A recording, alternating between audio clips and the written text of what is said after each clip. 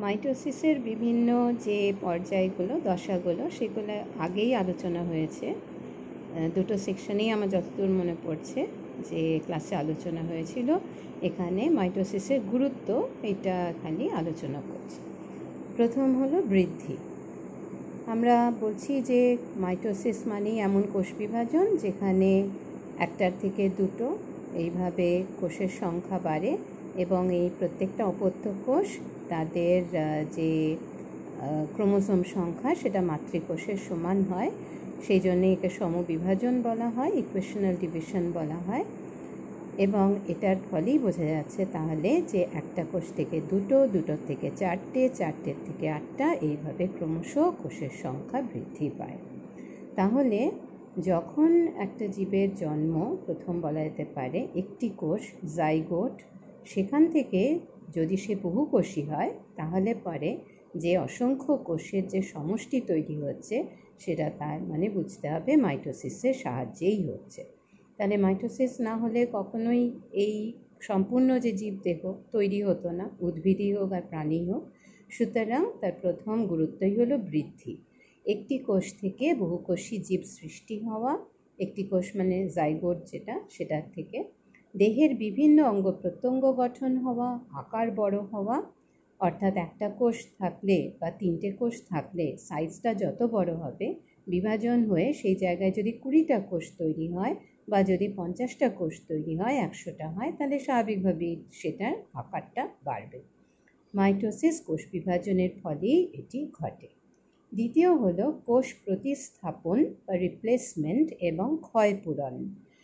আমরা জানি যে সবসময় কিন্তু জীবদেহের বিভিন্ন যে অঙ্গ রয়েছে সেগুলোর কোষ তাদের ক্ষয় হচ্ছে, তাদের মৃত্যু ঘটছে। আমরা জানি মানুষের ক্ষেত্রে যেমন পরিণত আরবিসি একশো কুড়ি দিন বাঁচে, তার মানে কি? একশো কুড়ি দিন বাদে তো সেইগুলোর মৃত্যু হচ্ছে। তাহলে সেই জায়গায় তো আবার নতুন হতে হবে। তো এই যে নতুন তৈরি হওয়া এবং সেইভাবে আবার যে আগের যে কোষ ছিল সেই জায়গাটা যে পরিপূরণ করা, এটাই হলো কি না কোষ প্রতিস্থাপন এবং ক্ষয়পূরণ। অর্থাৎ কোষ সৃষ্টি হয় যেমন তেমনি বিভিন্ন কারণে তাদের ক্ষয়, মৃত্যু প্রভৃতিও হতে পারে এবং হয়ও।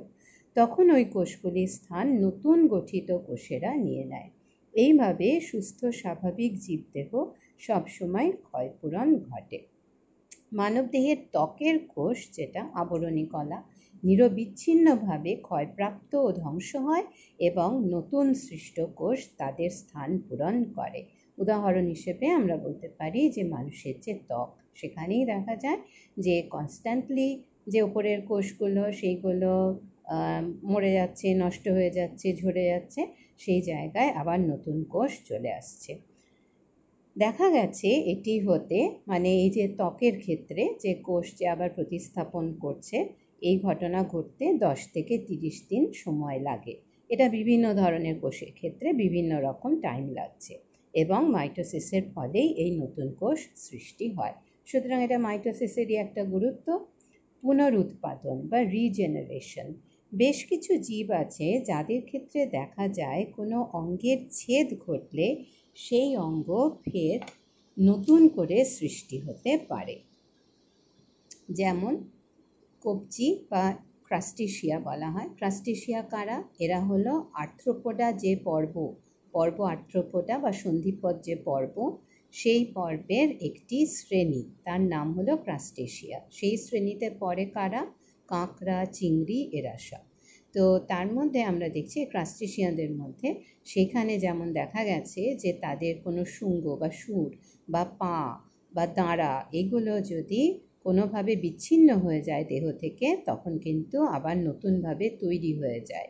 তা কাঁকড়ার মধ্যে যেমন দেখা গেছে, ফিডলার ক্র্যাব, তেমনি ক্রে ফিশ এও এক ধরনের ক্রাস্টেশিয়ান, এক ধরনের সন্ধিপদ প্রাণী। তার মধ্যেও এরকম ব্যাপার দেখা গেছে। অসংখ্য পতঙ্গের মধ্যে এই জিনিসটা দেখা গেছে। এদের পদগুলি বিচ্ছিন্ন হয়ে গেলে ফের মাইটোসিস কোষ বিভাজনের দ্বারা আবার নতুন পদ গঠিত হতে পারে। আরেকটা উদাহরণ হলো তারা মাছ বা স্টার ফিশ তার যে বাহু বা আর্ম সেই ক্ষেত্রেও একই জিনিস লক্ষ্য করা গেছে। অর্থাৎ যদি বাহু কোনোভাবে বিচ্ছিন্ন হয়ে যায়, দেহ থেকে আলাদা হয়ে যায়, তাহলে সেই জায়গায় নতুন একটা আর্ম বা নতুন বাহু তৈরি হয়ে যাচ্ছে। লাস্টে আসছে প্রজনন। জনন মাতৃকোষ হলো এমন কোষ যার থেকে জনন কোষ বা গ্যামেট তৈরি হয়। তো এই জনন মাতৃকোষ তৈরি হওয়ার জন্য মাইটোসিস হতে হয়, তার ফলে অনেক জনন মাতৃকোষ তৈরি হবে। তারপরে অবশ্যই জনন মাতৃকোষ থেকে যখন জনন কোষ তৈরি হয়, তখন অনেক সময় মিওসিস ঘটে। কিন্তু জনন মাতৃকোষ তৈরি হওয়ার জন্য মাইটোসিস হতে হয়। এই জনন মাতৃকোষ গঠিত হয় মাইটোসিসের সাহায্যে। এরপর সাধারণত জনন মাতৃকোষে মিওসিস ঘটতে পারে এবং জনন কোষ বা গ্যামেট উৎপন্ন হতে পারে।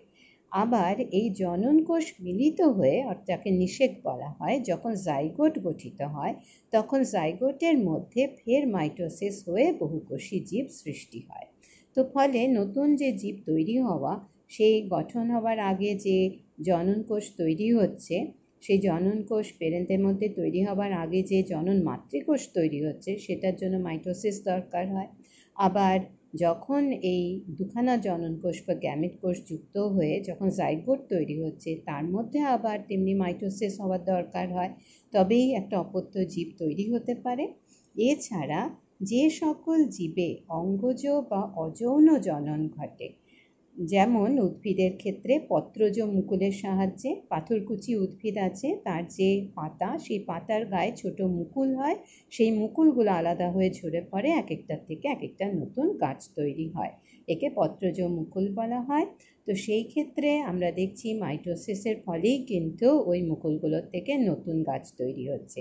শাখা কলমের সাহায্যে আমরা জানি বিভিন্ন ধরনের যে ফল গাছ যে চাষ করা হচ্ছে এইগুলো বা ফুল চাষও যেমন গোলাপ, জবা, এখানে কি কাণ্ডর থেকে হয়? এই কাণ্ডর থেকে যখন হচ্ছে মাইটোসিসের ফলেই কিন্তু কোষ বিভাজন হয়ে নতুন গাছ তৈরি হয়।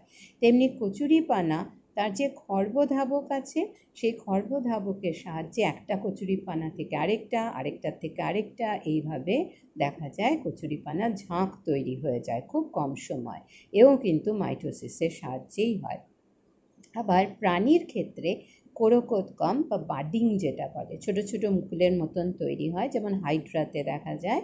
তো সেইখানেও কিন্তু মাইটোসিস হয়ে হয়ে এই এক একটা বাড বা মুকুল তৈরি হচ্ছে বা কোরক তৈরি হচ্ছে।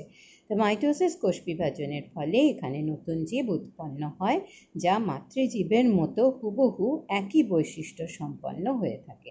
কেন একই বৈশিষ্ট্য সম্পন্ন? তার কারণ মাইটোসিস হলে পরেই। আমরা জানি সমবিভাজন হচ্ছে, অর্থাৎ মাতৃকোষ এবং অপত্য যে নতুন কোষ তৈরি হচ্ছে দুটো, তাদের ক্রোমোজোম সংখ্যা একই রকম থাকে।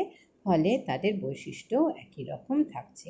অর্থাৎ কিনা আমরা বলতে পারি যে মাইটোসিসের ফলে তাদের বৃদ্ধি যেমন হয়, অর্থাৎ আকার আকৃতি যেমন বাড়ছে, তেমনি আবার তার সঙ্গে সঙ্গে প্রজনন সেখানেও মাইটোসিসের গুরুত্ব থাকতে পারে এবং থাকে।